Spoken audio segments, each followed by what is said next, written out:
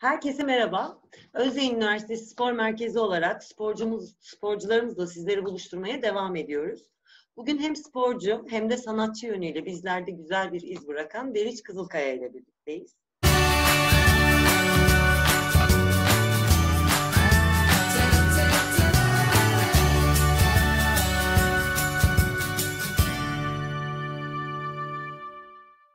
Merhaba Beriç'ciğim, hoş geldin. Merhabalar hocam, nasılsınız? İyiyim, teşekkür ederim canım. Hemen başlayalım istersen Berit'ciğim. Ee, bize kısaca kendinden bahseder misin biraz?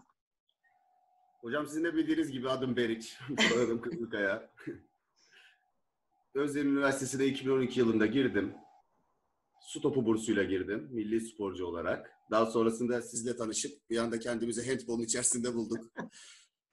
Siz ve Önder Hoca bir anda beni stop antrenmanına alıp bu çocuk handball'da oynar gibi bir yargıyla. Ama iyi ki de yaptık hocam. Sizi tanıdık, birçok insan tanıdık. Ama iyi ki de yaptık. Gerçekten handbolda oynadın yani.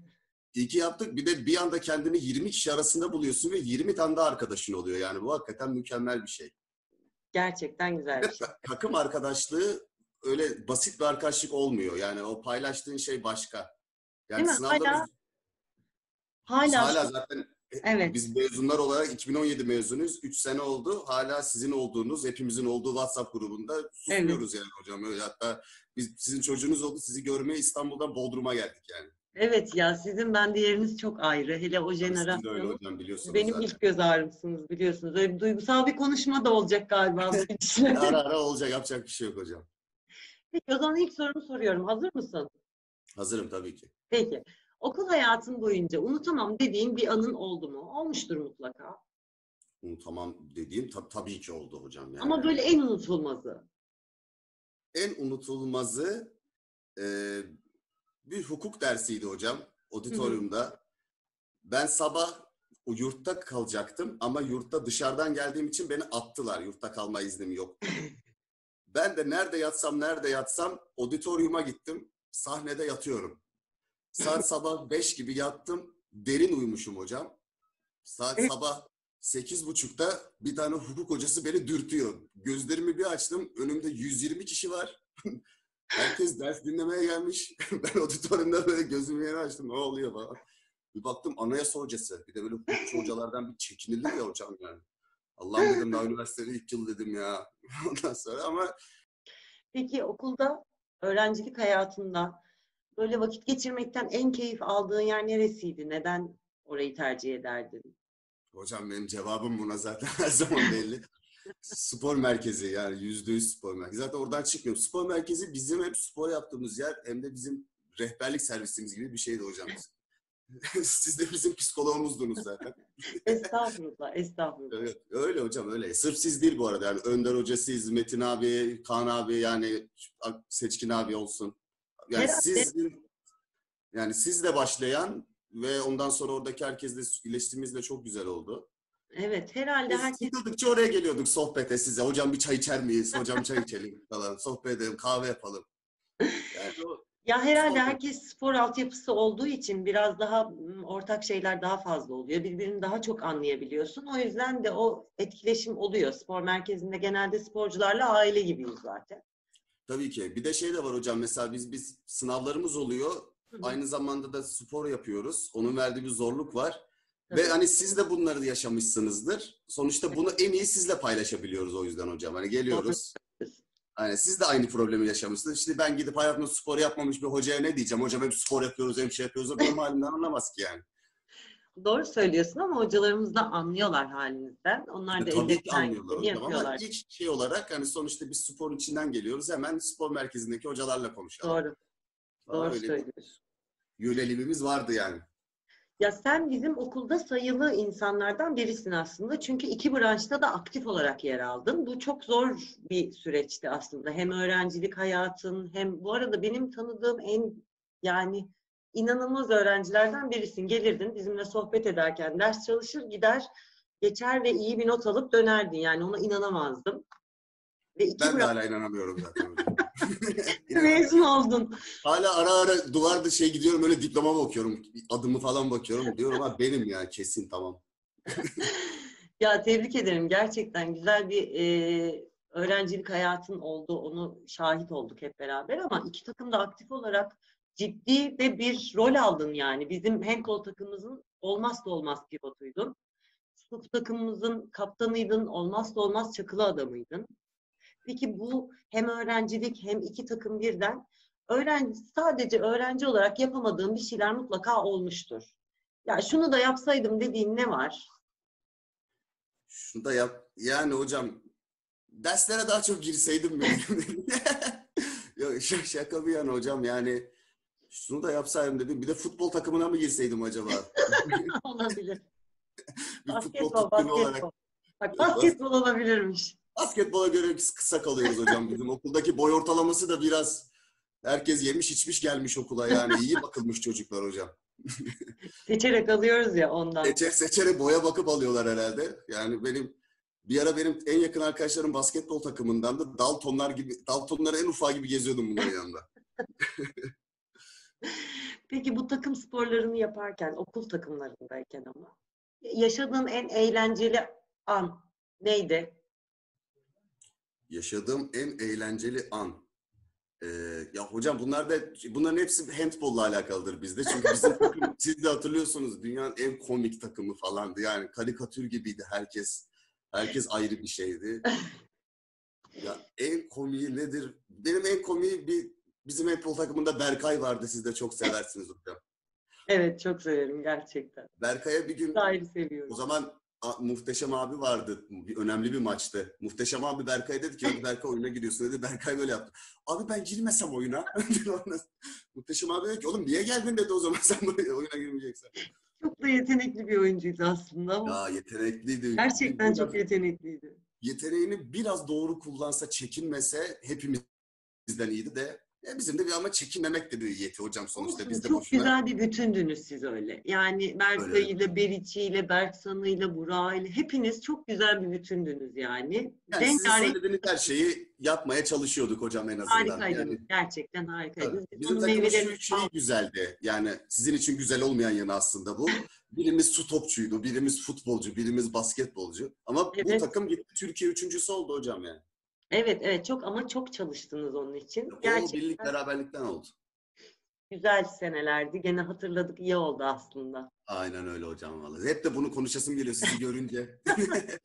İster Tamam peki istemez. başka bir şeye geçelim o zaman. Aynen hocam siz de handball'dan çıkalım. Tamam peki asla vazgeçemeyeceğim dediğim bir şey. Asla vazgeçemeyeceğin müziktir hocam. Müzik. Güzel. Müziktir net. Cem Karaca şarkıları diyelim. Olabilir süper. Peki Aynen. Kendini tek bir kelimeyle anlatmak istesen o kelime ne olurdu? Kendimi tek kelimeyle anlatmak istesem. Hocam şey ya. ılımlı ılımlı. Ilımlı. Vallahi ılımlı hocam. Vallahi güzel güzel. Uydu yani. Herkesin suyuna, biri benim suyuma gitmesin. Ben yine bu benim suyuma gitmediğine göre onun da diyorum vardır bir derdi. Yani o, o taraftan da bakıyorum böyle ya sakin yaklaşıyorum. ılımlı diyelim. Güzel güzel. Peki hayattan aldığın en büyük ders ne oldu? Hayattan aldığım en büyük ders hocam. Ya da aldın mı şimdiye kadar bir ders? Alabildin mi? Yo al, almışımdır. Net Almışsınız. almışımdır. Mutlaka almışsındır. Hocam nedir? Ee, yani bir şeyleri öğrenmeye fırsat varken aslında bunları ötelemek çok büyük pişmanlık. Yani Hı. mesela şu an şeyi düşünüyorum. Kötü bir öğrenci değildim. Yani derslerim falan kötü değildi ama aslında çok daha fazla şey öğrenerek de mezun olabilirdim. Yani vaktimi çok daha iyi de değerlendirebilirdim. Ve bunu bu arada içten söylüyorum. Yani gidip öyle böyle benimle konuşuyorsunuz diye bunu söylemiyorum yani. Hakikaten ara ara düşündüğüm bir şey. Diyorum ki ulan çok daha fazla şey bile bilebilirdim şu anda yani. Yine az biliyor da değilim ama hani mesela bazı yeni mezunlar var mesela. Ben mezun olalı 3 sene oldu. Benden çok şey biliyor ki 3 sene gibi bir arada da fark var. Yani onun verdiği bir pişmanlık var. Ya tabii ki de mutlaka herkesin farklı farklı özellikleri var. Herkesin farklı farklı ilgi alanları var. Senin hayatında biraz daha hayatını e, renklendiren, daha çok yer tutan bir spor vardı ama buna rağmen bu dediğine ben de katılıyorum. Kimse öğrenciyken öğrenciliğin kıymetini anlayamıyor çok fazla ve öğrenciyken yapabileceklerinin farkında değil. Sadece e, dersleri geçeyim de geri kalanı kampüs hayatı yaşayayım, öğrencilik hayatı yaşayayım gibi görüyor ama bu dönem Derste durduğum iki saat çok fazla gelirken bir anda bir ofiste 10 saat boyunca dilekçe yazarken kendimi bulunca dedim yani o iki saat ne kadar azmış ve aslında çok daha iyi de değerlendirilebilirmiş yani. O zaman inşallah bu söylediklerin yeni öğrencilerimize, şu an hala öğrencilik yapanlara bir öğüt olur, ders olur. Onlar da bundan Yani. ders çıkarırlar inşallah. İnşallah diyelim o çok öğüt veren bir tip de değilimdir ama öğütse öğüt. Çocuklar derse girin dinleyin. Zamanınızı kıymetini. Peki, dünya üzerinde var olan bir şeyi şişeleyip sonsuza kadar saklayabilip böyle nesilden nesile aktarma imkanın olsaydı bu ne olurdu? Neyi şişeleyip aktarmak isterdin? Hmm, ileriye taşınmayacağından emin olduğum bir şey olsun isterdim. Yani buradan oraya bir iz olsun. Hı hı. Ama bu da ne olurdu? Yani çok zor bir soruymuş hocam. Bir anda çok şey yakalandım. Terste yakalandım. Ama sen zor soruları seversin ben biliyorum. Severim. Severim hocam severim. Ne olurdu? Vallahi hocam. Ay çok zorlandım. Tamam, istersen Olacak. sonra, sonra dönelim bu soruya tekrar. Tamam sonra dönelim. Ama elbet bulurum. Tamam, peki. Tarihi bir olayda yer alacaksın. Ve Evet. bu olayda çok önemli bir rolün olacak. Hangi olayda, hangi rolde olmayı isterdin? Fransız ihtilalindeki Napolyon olmak isteyebilirdim hocam. Gerçekten mi? İsteyebilirim. Meraklıyım bu Fransız ihtilali mevzularına. Peki, güzel güzel. Güzel. Tarihe yön vereceksin yani. Ben Yani daha böyle tarihi- ağırlıklı bir şey Ya da kavimler göçündeki ilk göçe ikna eden adam. Hadi beyler. Hadi devam. Şuradan şuraya gidelim yeter artık ya falan. Oradan öyle bir şey olabilir. Peki, tamam. Ee, bir iş görüşmesine gittin. Ve iş Evet. görüşmesinde artık bütün aşamaları geçtin. Son iki kişisiniz. Ee, kendin seçilmek için ne söylerdin etkilemek için? Seçilenin sen olması için. Seçilenin ben olması için Ne söylerdin? ha, ne söylerdim? Nasıl bir tavır Hı hı. takınırdım? Ne yapardım E, değil. Hayır. Öyle bir kelime cümle söyleyeceksin ki e, o iş görüşmesini yapan kişi diyecek evet aradığım kişi bu. Hocam Son iki- derdim ki eğer beni ücretsiz izne çıkarmak isterseniz asla size problem çıkarmam.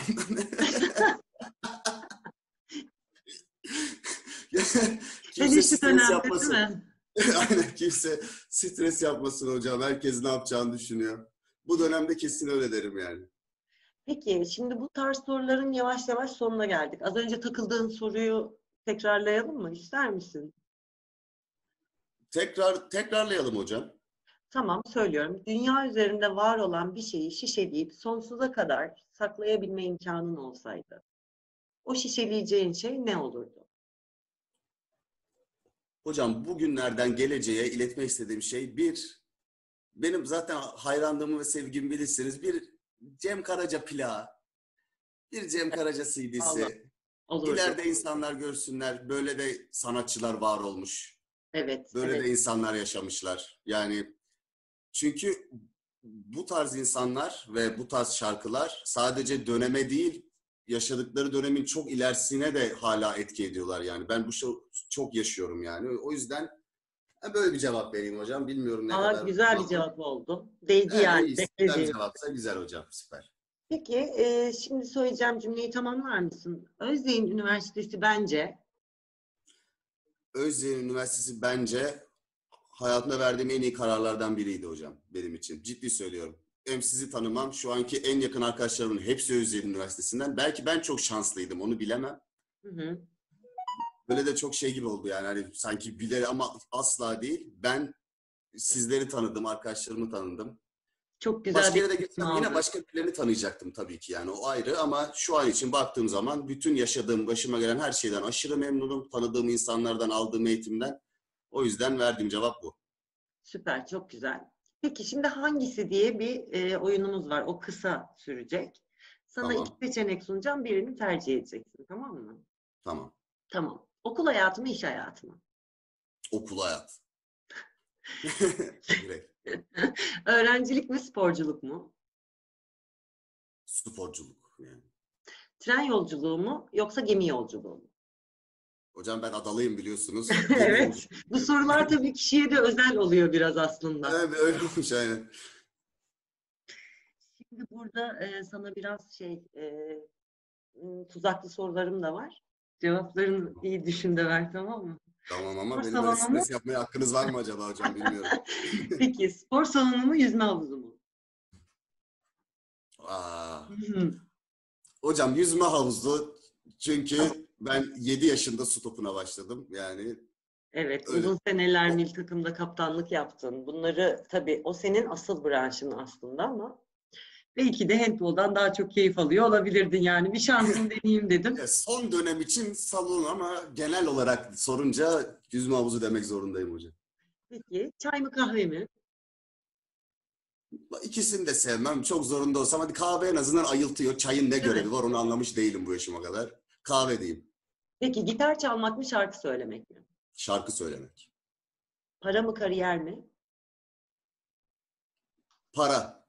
Para. Peki. Ee, şimdi son iki sorumuza geldik. Son soruyu ben ayrı saklamak istiyorum. O sürpriz bir soru olsun. Ee, son sorudan önce, son iki soru değil aslında son soru. Son sorudan önce bizlere ve öğrencilerimize söylemek istediğim bir şeyler var mı acaba?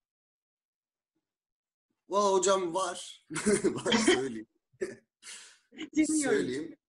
Ee, Özye Üniversitesi öğrencileri için hatta kendim de onlardan biri olarak öyle bir şey söyleyeyim. Ben hakikaten Özye Üniversitesi'nde geçirdiğim zamanları içindeyken bu kadar güzel olduğunu bilmiyordum. Mezun olunca insan daha iyi anlıyor. O geçirdiğim bütün zamanı, o yaşadığım sınav stresini bile neredeyse yani o, o çok özlenecek bir şey değil yani de neredeyse o- onu bile özler bir haldeyim yani. O yüzden yani gerçekten çok iyi bir okul ve spor merkezine olabildiğince çok zaman geçirdim. Belki bu yüzden bu kadar seviyorum bilmiyorum. Mutlaka sizi tanısınlar. Canım benim. sizi, tanı sizi tanımadan mezun olmasınlar. Hayatlarının hatasını yaparlar. Ee, yani bir, daha önce de dedim ya bu konuşmanın başında da dedim hocam. Yani bir, bir insan bir şey yapıyorsa onun hakkını versin. Ben çok vermedim onun pişmanlığını yaşıyorum. Bir derse girdiysen onu sonuna kadar dinle. Biri sana bir şey anlatıyorsa alabildiğini sonuna kadar almaya çalış. Bu sırf okulda da değil yani dışarıda da öyle. Ben bir bakkaldan bile bir şey alırken onun söylediklerini dikkatli dinliyorum artık. Yani herkesten bir şey öğreniyorsun. Ve üniversite bunun için çok müthiş bir ortam. Senin yaşında bir sürü insan var etrafında. Sosyalleşmek için müthiş bir silah. Yani sadece eğitim olarak da değil. Senin yaşında bir sürü insanı bir araya toplayan bir yer. Yani bunun kadar güzel bir şey var mı? Yoksa o kadar insanı nereden bulacaksın çevrende? Yani müthiş bir şey. Doğru çok güzel bir bakış açısı. Ama en azından üniversiteden mezun olurken birilerinden bir şey öğrenmeyi öğrenmişsin en azından. Aynen. Bak, hakikaten mezun olduktan sonra öğrendim ama olsun yani. Telafi ediyoruz. Açığı kapatıyoruz hocam. Hiç önemli değil. Berit'ciğim e, bugüne kadar bizim için Özyeğin Üniversitesi için hem sanatçı hem sporcu kişiliğinle ve hem kendine nevi şahsına münasır karakterinle gerçekten bizde güzel bir iz bıraktın. Seni Sağ olun çok, hocam. çok teşekkür ederim söyleşi için. Son sorumu soruyorum. Ve ben şimdiden herkese iyi akşamlar diliyorum. Sen bir şarkı olsaydın nasıl bir şarkı olurdun? Bize bunu böyle canlı olarak bir yaşatır mısın? Canlı olarak yaşatalım hocam canlı Hadi olarak. bir yaşatır mısın? Yaşatayım hocam. O zaman size yeni türküden başka türlü bir şey şarkısı gelsin. Hocam çok Evet, sevdiğim. teşekkür ederim.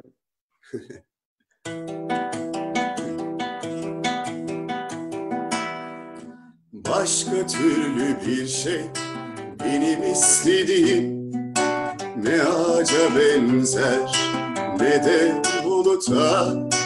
Burası gibi değil gideceğim memleket. Denizi ayrı deniz, havası ayrı hava. Nerede gördüklerim, nerede o beklediğim Rengi başka, tadı başka. Bir tatlı yolculuk dalından inmek yere Yaşadığından uzun.